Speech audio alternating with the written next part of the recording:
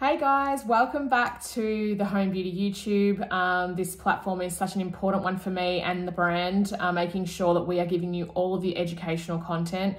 This particular um, platform with YouTube, um, I really want to make sure they're really quite amazing tutorials for you and giving you all the tips and tricks. So make sure you click the link, subscribe, um, hang out, comment. Um, I'm here to engage with you guys and, and have some fun. So let's have some fun in that. I have got some, I've got a wedding today um, a little trick if you have worn makeup in the past couple of days prior to a makeup that you're trying to do, just make sure you have a micellar water. Even though I've thoroughly cleansed a number of times, you just never get as much of the mascara off as you hope. So it does actually really impact the makeup look. And that's, I've literally cleansed three times since wearing mascara last. So it just shows you, if you're wanting a really clean makeup look, to always make sure you get in there before you start start the makeup with a micellar water or an eye makeup remover.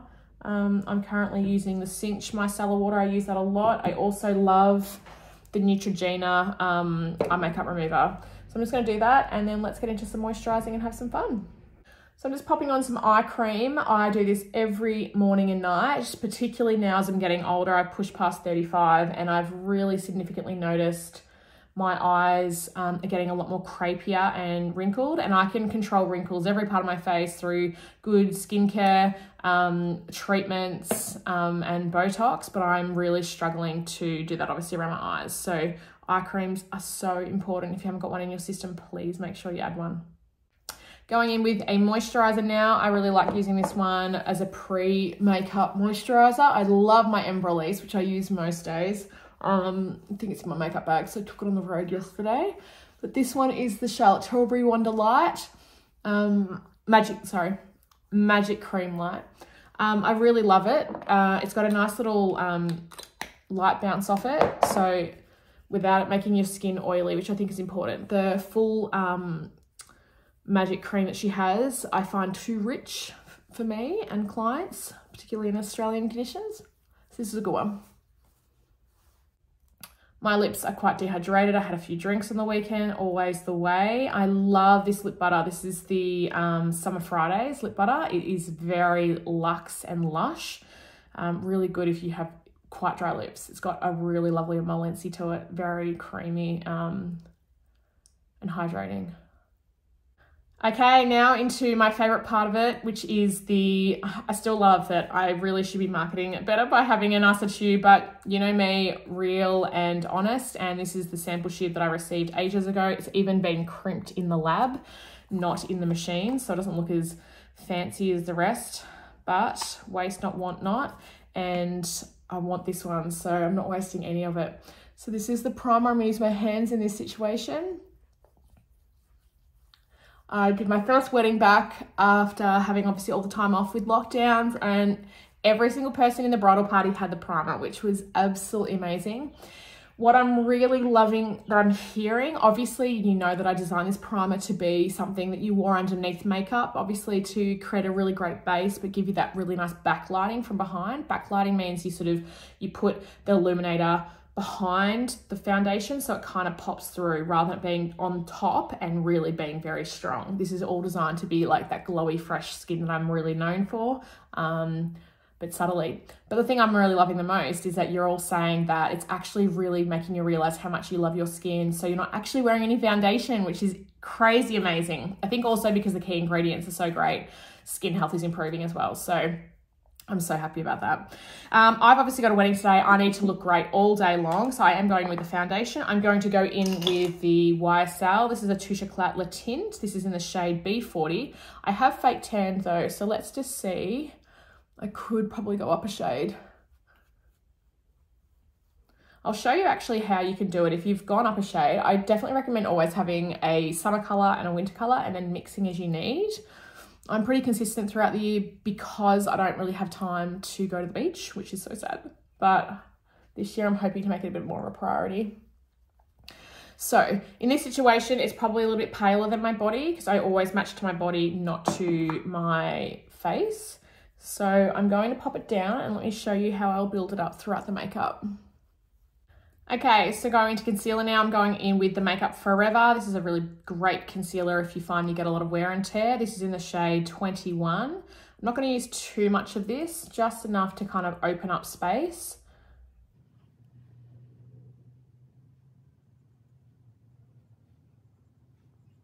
I'm lucky that I don't actually have too many dark um, under eye circles. Mine's more redness on my face, so I can use one concealer to kind of conceal and to open up space.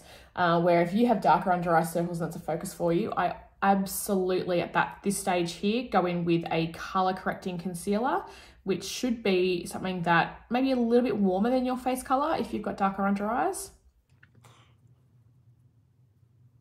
and then you go in with your lighter concealer or your brightening color now I'm going to go in with some translucent. This is the by Terry Hydra Powder. It is really soft and light. I'm just going to go under my eyes and set that immediately for a couple of reasons. One, I don't like to wear and tear too quickly under the eye, so it's important because we move a lot in that area that we set it before it starts to move into the creases. And also because I'm going to go into eyeshadow second, which is normally not what I do, but this is more of a natural eye look, I can get away with it. Um, I really want to make sure I focus on uh, if there's any fallout, it can be brushed away. If it's wet underneath there and there's fallout, it'll be very hard to move out. Okay, now I'm going in with the Laura Mercier. This is the Candle Glow. This is in the shade 3. In summer or when I'm tan, this is my face colour. I'm just going to lightly put this all over. This is where I'm going to boost up my foundation. So I don't have to go in with a darker foundation. I can just boost it up with a bronzing powder normally in a face product, not in a bronzer.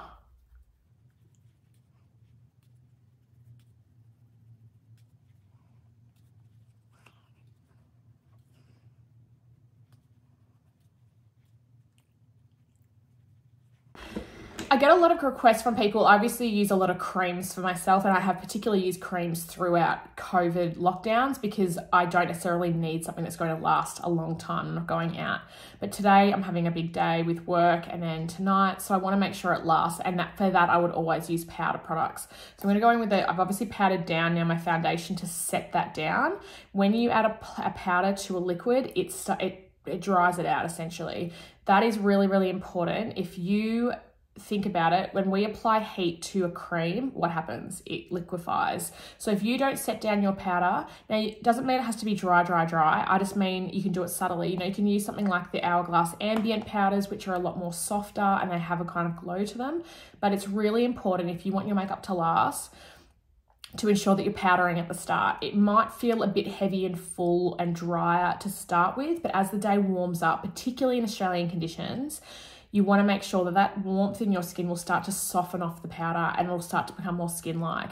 Also recommending using like setting sprays, which will really help that as well. But I really advocate making sure you're using a powder as part of your routine. So now going into bronzer, I'm just using the Fenty. This is in Shady Biz. This is a great color. I love her bronzers. They're brilliant.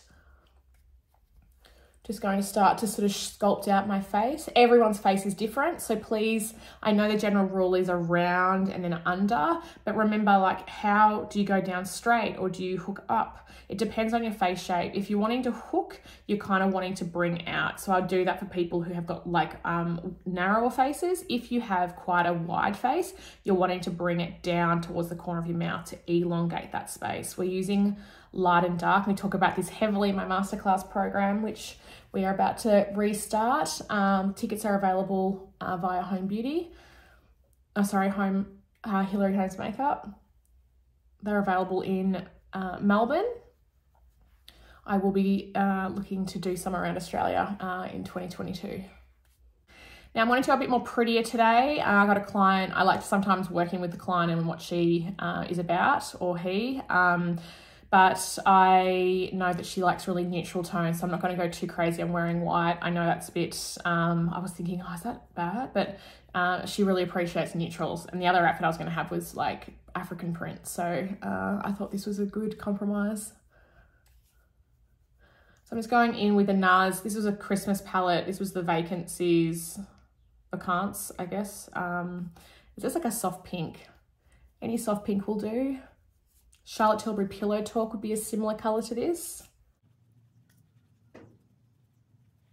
As a makeup artist um, and as a consumer, I have to say the, the loss of Becca in our community actually has really rocked me. Um, a lot of their products were, were definite staples in my kit. Um, one of them being the um, Skin Perfector. This is in the shade Opal. I'm still going to use it. I'm sorry. I really love it. It doesn't, you can't, it's really hard to find something that works like that. This is a powder. Um, I'm really sad about it. So yeah, I'm really hoping that something happens and, you know, we start to see similar products popping up out in the industry. Okay, now I'm going in with the Iconic Setting Spray. I'm just going to do that in this now so that it just sort of dries out while I'm doing the rest of my makeup. Setting sprays are so important, so important. Um, to make sure you kind of, so you know how I was talking to you before about putting liquids on your skin and needing to dry them out to make sure they last. If you really don't like that powdery look on your skin, but you need to set it down, then absolutely use a setting spray. That re, I know it sounds so crazy, you're turning a liquid to a powder to a liquid, but you, in order to kind of create the layers that really grip and hold, it's really important that you do those steps. So I've created liquid, I've then powdered, and then I spray down. And what will happen is those powder, um, like powder particles sitting on top of the skin will flatten because the liquid kind of reforms um, them a little bit giving you all the tips and tricks on this one. Okay, so let's go ahead and do my brows. I'm gonna use the Refy brow pencil. I'm gonna do this before I do my eyes because I like to sort of see where my, my brows are before I get going on it. So I'm just gonna pick up my brow just to start with because I can see my hairline and I come off the front. I don't wanna go to the very start because it'll make it too heavy there. So I wanna come off a little bit and I start with a line underneath.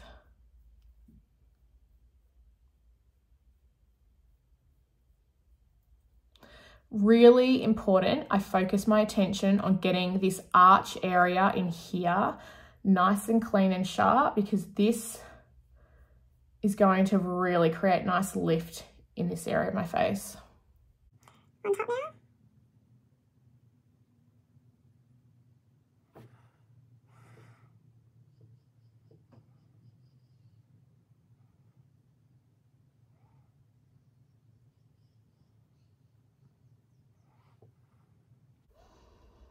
Now I go to the front and I go really lightly. Now I talk about this a bit. It's really, really important that I remind you that everyone's brows are different. Your hair density is different. The way it's structured is different. My brows are really, really thick in that spot, but there's nothing else anywhere. For me to make them thicker, I know it seems crazy, but I've got to go quite dark with them. And then I use the spoolie on the back end and I run them and reverse back through to break up the pigment on my skin. I would love to be able to do techniques that mimic real hairs, but it's just not going to work with my hair shape um, and density. Okay, so now I'm going to go in and put some brow gel down. This is the Refy Brow Gel. This is a very glue-like gel. So if you don't like really strong hold, I think she's kind of designed this, Jess Hunt has designed this to be like almost like a laminated brow. Because my hair's so thick where it is, I can get away with using a product like this um, because I really need to. So important that you back comb the hair so that when you come back through, it's all like totally coated on both sides. So you get such better hold. Okay, let's get into eyes. So now I'm gonna quickly run my brush that's got powder over it on top of my eyes to neutralize any oil that might be already existing on there. Now I'm going in with the MAC Paint Pot in the shade Groundwork. I love this color. This is a neutral matte color. This is what I use as a primer. Priming is exceptionally important if you're wanting something to last. You could use this just by itself if you're wanting a really natural look on your eye, but this will look super natural because it's a cream, but because it's a primer, it grips down really, really well. So definitely think about your choice of products. If you're wanting something to last in heat environments, you can just do that with some mascara instead of actual eyeshadows. If you were to use a traditional cream eyeshadow, most likely it would move and crease, where these are designed to dry down. So perfect combination. Okay, now I'm going in with the Fernando Hervas, um, the Nude Collection eye palette. I'm going to go in with Ma Amour, Mi Amour. I was like, Ma, that's like not the right way of saying it. Um, and I'm going to mix it with a tiny bit of silk, which is a pale nude colour.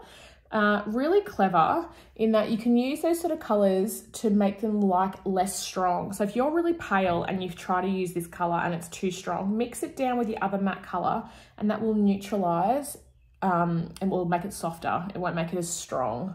If you always have palettes that have a lighter nude matte color and you can adjust any of your eyeshadows.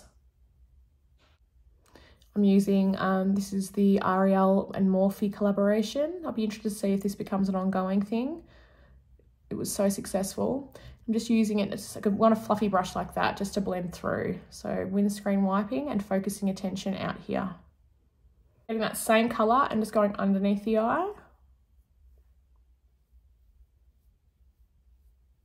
Now what I can do is keep my eyes straight, not overly like look at it. I can then start to see how the eyeshadow and how it's sitting on my eye. When you look at it normal, I can see I haven't gone high up enough on this side.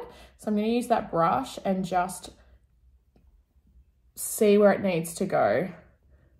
Always sitting back and just assessing it. I can see that needs to be a bit stronger. And then that can come out here a little bit just to sort of soften that gradation out. Just taking an extra couple seconds to assess things, it's such a great way of figuring it out. Now I'm going to go in with La La Land. It's a shimmery kind of um, paler pink. I want to really reference this dress through the makeup.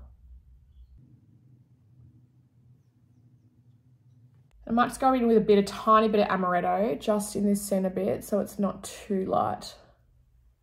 Just warms it up a little bit.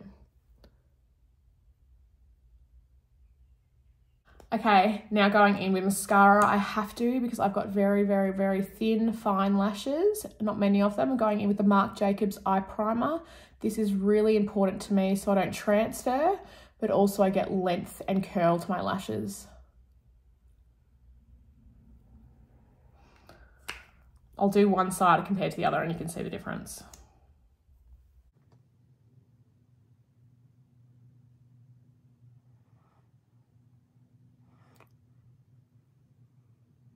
See the difference? Huge.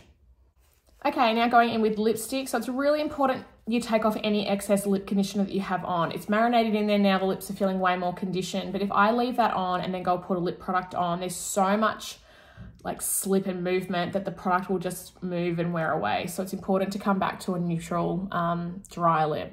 So I'm going in with Lip um, Pillow Talk by Charlotte Tilbury. No makeup's complete without that random hair.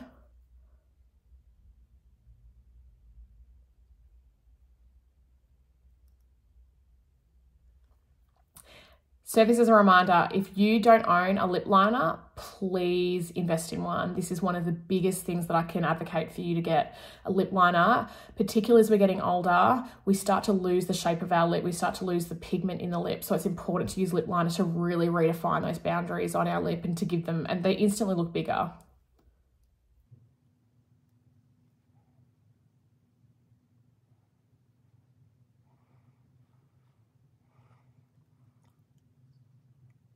If you have um, particularly lined lips or you're a smoker or you're older and you have quite divoted lips and you don't get a smooth line, and if you also find it just takes ages to line your lips, what you can do is go like this.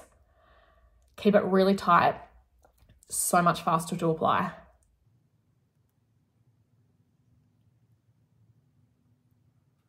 This stage of the makeup towards the end that I can go back in, I'm just gonna get a little bit of powder in this zone here because it's moving around a tiny little bit.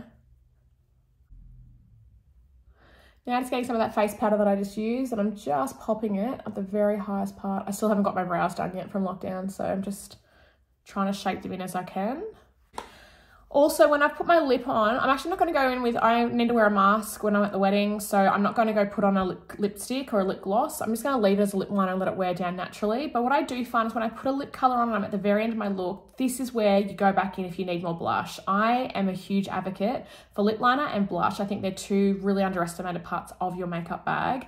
It's really important if you can go back in there, I'm just going with more of a flushy pink, something a little bit more pretty and I'm just going to hit the apples a little bit more. Just that little bit extra boost can give you more vibrancy, more youth, more shape in your face.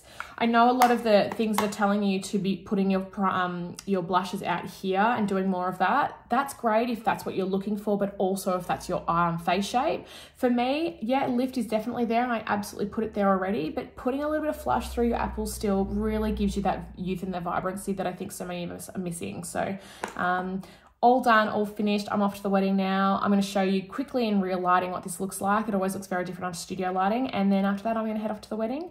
I hope you enjoyed this one. Make sure you definitely subscribe so you can see all of the videos coming through from us. Um, I'm here to make so much content for you. So if there's any particular specific tutorials that you would love to see, please comment below.